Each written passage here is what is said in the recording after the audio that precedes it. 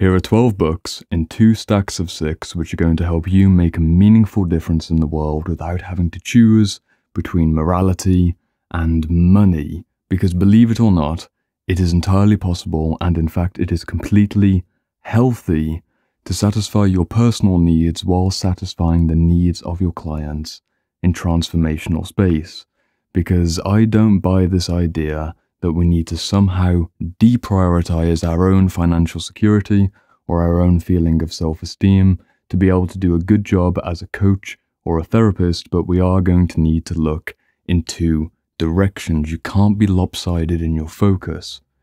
Helping is healing, but this is also your personal business and your career path, which is why these six books are focused on business, marketing and sales and financial philosophies. And these six books are about your actual coaching skills and your interpersonal ability.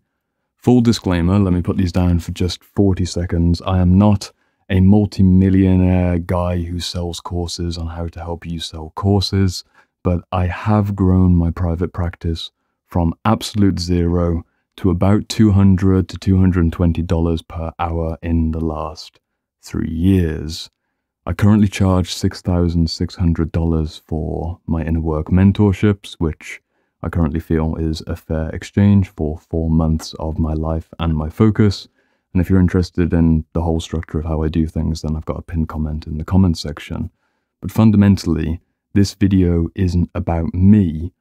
I'm personally tired of this myth that goes around in the coaching space which I hear sometimes when I'm working with people who also want to do a bit of coaching, or maybe they're improving their coaching as part of the inner work journey, that we need to choose or sacrifice. Because we don't. You don't need to deprioritize your needs to be able to do an incredible job as a helper or a healer in the same way that you would never catch a plumber fixing your pipes for free or a copywriter who's going to shun the opportunity for a pay rise. It's time for helpers and healers and personal trainers and therapists and teachers to be rewarded for their expertise. So, where do we begin? Again, this is a bit of a different video on the channel. It's my response to the question that you're seeing on the screen, where someone is transitioning to coaching and counseling from a different previous career path. I normally talk about trauma and self development and self actualization. This is for my fellow teachers and my fellow coaches so you're very unlikely to be interested in this video for the next 15-20 minutes if you're not one of those people. All that being said, let's dive into the two stacks and I'm going to focus on the stack which you don't think I'm going to focus on first, which is not the therapeutic stack itself, but the business stack. The reason you need to focus on business and the reason I've split this in two with six and six is that the primary sticking point of most coaches and most therapists is they are not taught nor have they sought out the information to make a sustainable business, especially when it comes to marketing and especially when it comes to sales. Because you take a therapist and then tell them they need to learn how to do sales through Instagram or be able to market themselves on YouTube or be able to structure a business on the back end. That's not what they signed up for. They want to help. They want to be there psychologically for people who are in need and help them move through transformational threshold crossings. But if you don't have the business in place, you may find yourself in the unfortunate situation where you've done a master's or even a PhD and you're going to get your first clients, and lo and behold, nobody knows who you are, nobody cares what you have to offer, and all of your wonderful skills behind closed doors will remain behind that closed door because no one has the opportunity to enter. So I'm going to rapidly go through these business books and then rapidly go through the therapeutic books because the main aim of this video is that you read the books yourself, not that I give you a three sentence summary. Let's go into the business books. First book, Hook Point by Brendan Kane. This is a non-negotiable read for anybody who is using YouTube, Instagram, maybe TikTok. I doubt you're using TikTok. If you are using TikTok, you might not be the person for this video. I think TikTok probably isn't the best place for high value coaching, but if you're using social media, you want to read a book like this because the reason that you're probably still watching this video and that you've watched my channel before is that I implemented the lessons from how to digitally market myself in a way where the attention isn't going to be dissipated in a boring way to me to make videos which are compelling. You can't get someone to listen to the actual core information in your video or in your essay or in your article, if you don't know how to hook their attention, Hook Point by Brendan Kane, non negotiable book. And these are in no particular order. I'm just bringing them up as we find.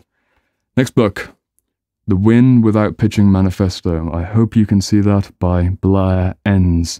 This little black book is one of the best books on how to sell yourself as a creative or a coach that I have encountered yet.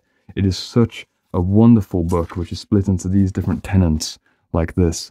Uh, we will diagnose before we prescribe. It's mainly talking towards creative agencies, but the reason the Blair is so worth listening to is that he ruthlessly cuts through limiting beliefs and common poor practices in regards to the client relationships before they've agreed to give you money for your service.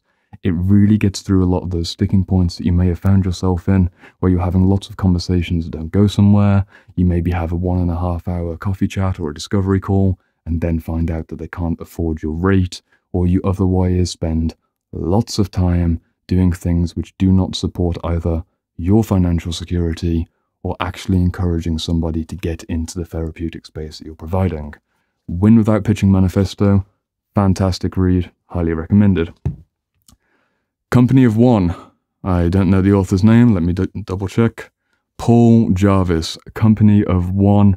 This book is the reason that I am trying not to grow too fast on YouTube or Instagram.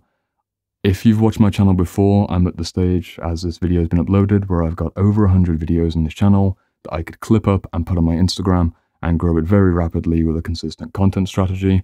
But reading this book gave me a very good lesson very early on that you do not want to grow beyond a capacity which you can actually maintain.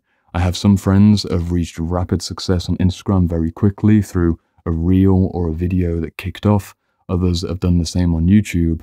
And what that actually looks like, despite your fantasy of that being a good thing, is way too many comments and way too many DMs all at once, and all of those opportunities slip through your fingers. And it's the same with scaling too quickly.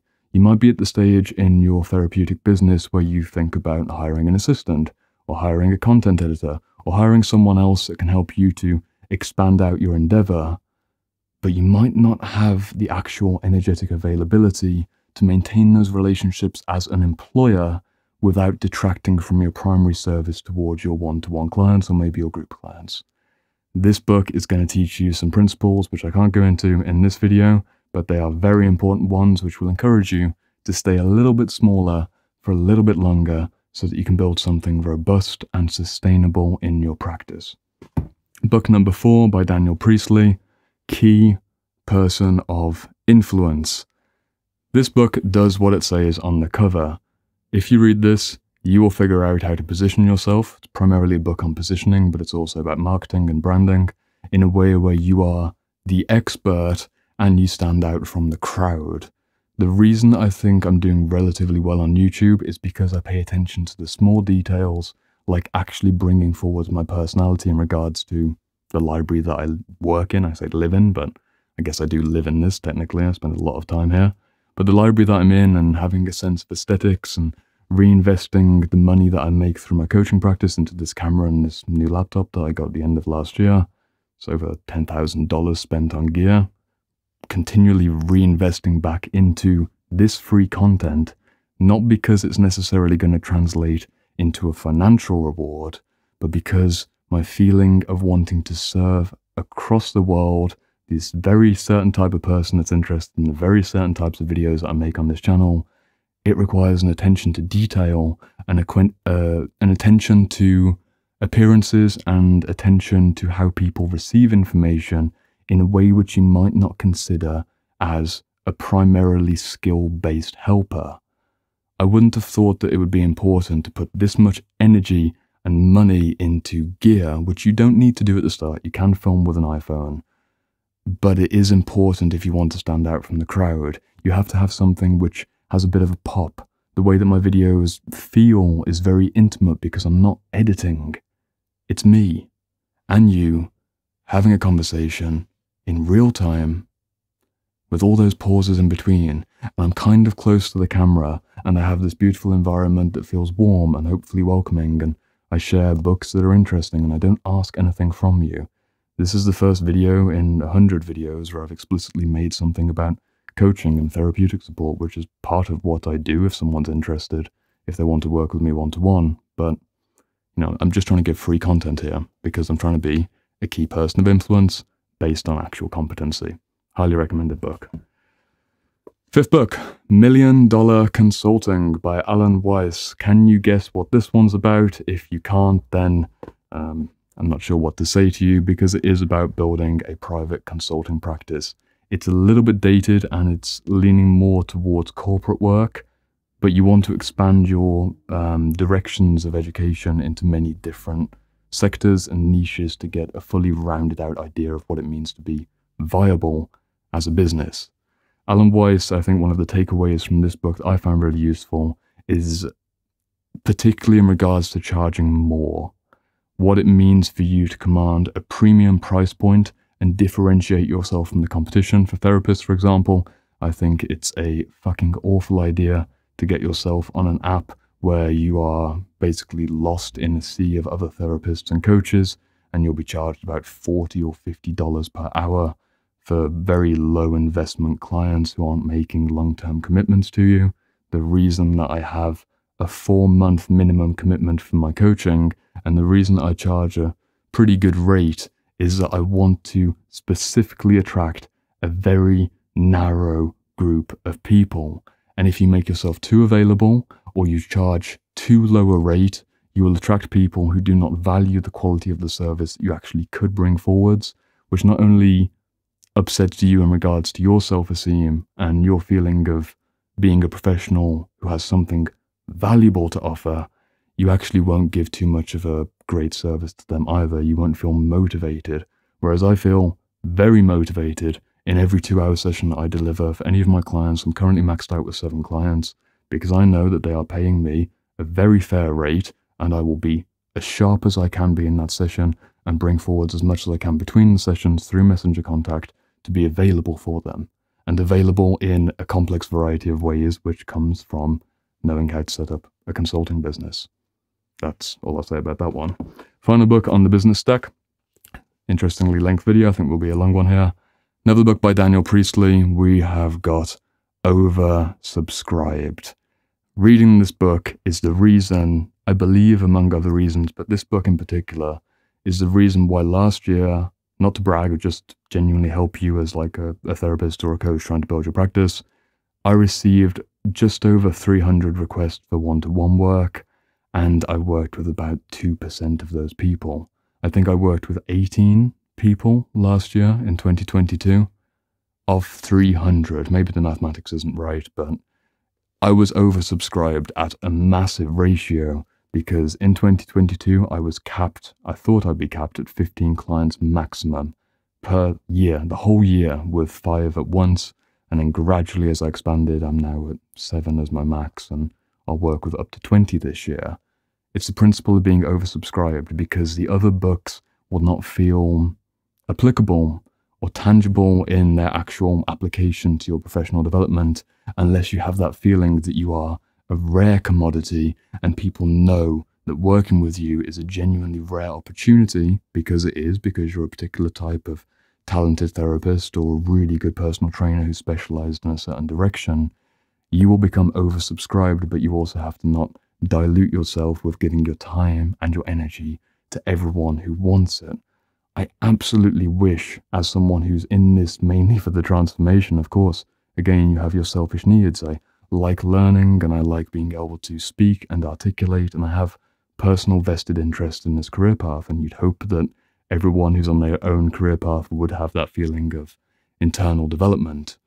But primarily, I want to try and give as much as way for free as I possibly can. But in giving things away for free and not making an ask for any payment other than, hey, go and read this book or go and do this practice and let me know what you think, people naturally trust you quite a lot. And it means that people are more willing to give you money for a higher level of service because you've earned that trust over many months. But it requires you showing up for free for a very long time and providing very high value, and then hopefully you will become oversubscribed. That's the end of the business stack. While that simmers in, I'm going to take a sip of water and then we're going to get into the therapeutic development. This is what I mean about the editing. There's dead time in between here because I'm going to change the vibe into the therapist space. Second stack, this is for interpersonal skills, actual coaching abilities, and the kinds of books I want you to read to go from pretty good coach to a very good coach or a very good healer, whatever language you want to use. First book is a book on teaching, and it will also help you. Hopefully, it comes up. Yeah, just about. Parker Palmer, The Courage to Teach. I should have actually shown you the front page of this because I've got a nice signed copy uh, for someone. Anne.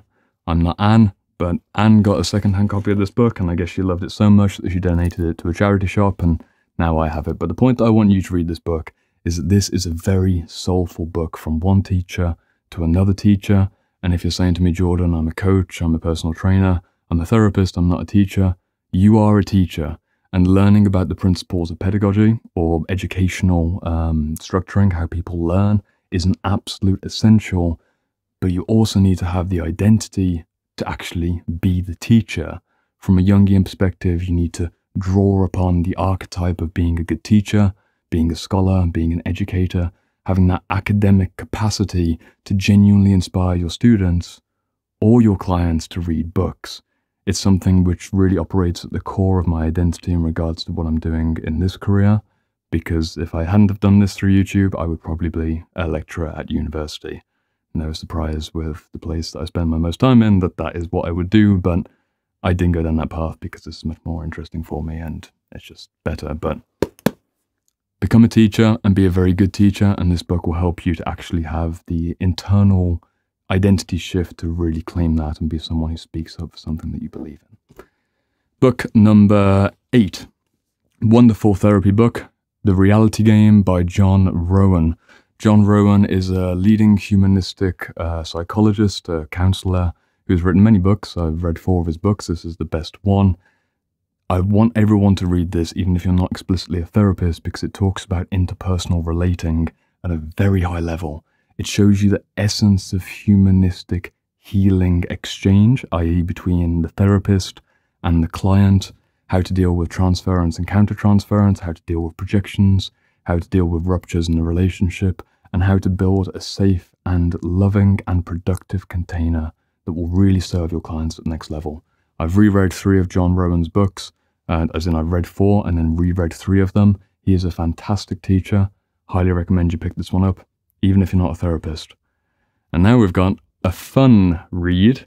This is for anyone who's a fan of shadow work, which in a nutshell is the ability to understand, investigate, and potentially draw back unconscious energies which are lingering in your shadow territory. It can be very positive, and it can be very negative. It's not just demons, it can also be angels. But we're going to turn to Robert Moore and facing the dragon, confronting spiritual grandiosity and all of the archetypal missteps that come with having power. This book is another non negotiable read. Facing the Dragon by Robert Moore, one of the best Jungian psychologists. He co authored uh, King, Warrior, Magician, Lover with Douglas Gillette, I think. Yeah, Douglas Gillette and Robert Moore wrote KWML. He's addressing so many of the very difficult, and I mean very difficult, very behind the scenes moments when grandiosity and therapeutic narcissism and coaching inflations can really eat up the potential healing energy of any one to one or one to many relationship. For example, the situation where because you are maybe increasing your rates, and you're getting some success on YouTube or Instagram, or your books are being read by more people, or you're having public television appearances, whatever it might be, you might pedestalize yourself in a way where you then consistently ignore the, your own cracks and your own foundations, and that will lead to a shadow moment or a rupture in the relationship where, God forbid, you've seen stories like this before, Someone who's on the grandiose high horse may go do a group workshop with a group of impressionable people, and that man or that woman might act out in sexual ways where it's completely inappropriate. Was very much a sad trend in the 1960s, which is little spoken about in the era of free love, where the you know therapeutic guy or girl would go off and lead this incredible cathartic group, and then pick out the most attractive one or two people and sleep with them on the weekend, and then go and cycle that round the earth for however long that shadow consumed them. I don't recommend you do it if you're trying to build a genuine reputation and have a genuine impact on the world, and this book will help you avoid some of those pitfalls. Next book Power in the Helping Professions. Will I take a sip of water? I held this book up recently, and it's by this man whose name I cannot say on YouTube, but he is an excellent teacher. Continuing from the book uh, Facing the Dragon, which I just held up, these two go wonderfully together because we're talking about all of the shadows and all of the corruptions that go with being someone who has disproportionate power from your client. I don't think it's a very good idea, although it's a trendy idea to make it like I'm not in a position of power and you're not in a position of lesser power because that is confusing for someone who's paying for you to be a professional. It's like you going to a doctor and imagine if you sat down at the doctor's office and uh, she said, Well, I don't know, what do you feel? And you're like, My arm's broken. And it's like, yeah, but you know, what what do you feel? Like, let's work this out together. You go to a professional to get professional support and professional guidance and professional insight. You don't need to go all the way into the grandiose pedestalization, but you need to know how to work with power imbalances, even if it's the power imbalance of someone paying you money for your time and energy, and you both have different ideas of what that means, or you have different ideas of what it means to have higher or lower status or maybe someone hasn't had too many experiences with a therapist or a coach or a trainer and they don't know how to navigate that very uncertain space. You want to read a book like this to help you hopefully smooth out those road bumps and avoid the ruptures which could hopefully be avoided. It's a very good book for people to read. Final two books. Another book on teaching. This is a bit of a wild card book for anyone who's interested in transpersonal psychology, which in a nutshell is holistic psychology based on self actualization, which includes an element of spirituality. We've got The Living Classroom, hold it up properly, by Christopher Bache. And this book is absolutely wonderful. It's one of my favorite books in my library because it talks about how to work with collective fields of consciousness as an educator. And you don't need to connect A to B to realize what I'm doing with this YouTube channel is basically using YouTube as my place where I get a lecture theatre or an amphitheatre, more symbolically speaking, to be able to create, hopefully, deep, meaningful, resonant impact and a feeling of connecting with somebody at a level which is unusually deep for a free YouTube video. It's because I'm taking the principles principles that I learned in the living classroom by a leading transpersonal psychologist who spent 20, 30 years, I think 20 or 30 years by the time that he wrote this book, teaching in lecture theatres and looking at morphic fields and collective consciousness and different things relating to syllabus and student development and how he'd have these moments where he's in the lecture and he'd go, hmm, let me think of an example about uh, religious teaching. And he'd say, let's imagine that your mother died last week and you're working through a certain addiction, then names the certain addiction, and you also have this situation with your boyfriend, and then names the boyfriend situation. And a really elaborate story is what Christopher would bring, bring through to illustrate the point. Multiple times over, someone would enter from the lecture theatre. At the very end, they kind of sneak up and say, Chris, you, you just described my, my whole situation. You, my mum died last week, and I've got this trouble with, um, you get the point.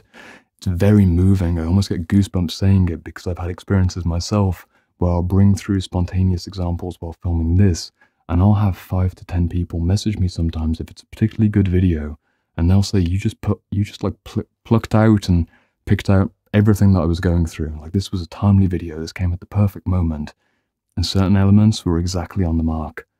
Kind of interesting to think how it could be entirely individual, and yet five or ten people experience that, and those are just people that message me. This is a book that will really expand your idea of what it means to be a teacher at the highest level. But we have one final book, and this book is truly the most important book of them all. It's this brown book. And this brown book is a placeholder for your depth of understanding in your particular profession. This one book represents the dozens, if not hundreds of books, the hundreds of hours, and all of the internal work that you need to put in as a therapist to actually be good at what you're doing.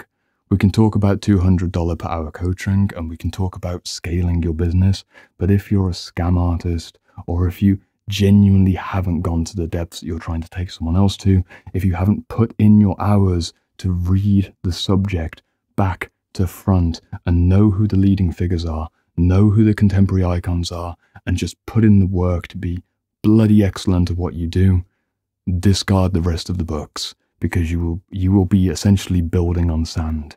You haven't got something reliable under your feet. This book represents at least 50 books, potentially 100 books as a minimum to be a genuine coach who's done their own work and is continually pushing with their own curiosity to make sure that they're ethically and morally aligned with guiding people through difficult spaces, which is increasingly important if you're going to do trauma work or any kind of sensitive spiritual work, or even working with people who've got things like eating disorders or chronic weight issues or whatever it might be. You better bloody know what you're doing, and you better be willing to put in the hours, even while your therapeutic practice is taking off, to keep reinforcing your learning. Yesterday, I broke my book ban, which I haven't ordered any new books in the last six months, and I ordered another 77 books and spent something like about $1,500 buying books I really probably don't need to read, but I'm always looking for that next edge. Going to be releasing a course next year. I'm looking for that, that final 10% just to make it the best I could possibly make it. And that's the life that you're signing up for if you want this to be your career. I'll leave it here. I hope this video has helped. If you're interested in working with me one-to-one -on, some of these issues, it's not exclusively what I focus on. It is part of my mentorships if you're that kind of person, but I'm not opening those mentorships up until end of March time. But pin comment if you want to learn more about how I structure my boundaries and my expectations and just who I am as a person and why bother listening to me. But don't bother listening to me if you just read these books for yourself. This is the best that I could try and bring together in just 12 books. I hope it has been nourishing for you, and I will see you on the next video, which conveniently enough is right over here. I'll see you there.